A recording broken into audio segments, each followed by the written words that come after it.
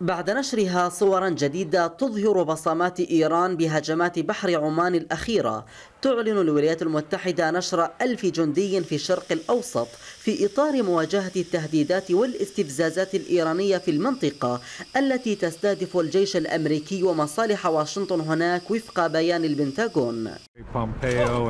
القائم بأعمال وزير الدفاع باتريك شانهان أفاد في تصريحات صحفية بأن الجنود المقرر إرسالهم سيتولون مهاما دفاعية متنوعة كمواجهة الهجمات الجوية والبحرية والبرية كما اعتبر المسؤول الأمريكي أن الهجمات الإيرانية الأخيرة تدعم معلومات استخباراتية بشأن سلوك طهران الذي وصفه بالعدواني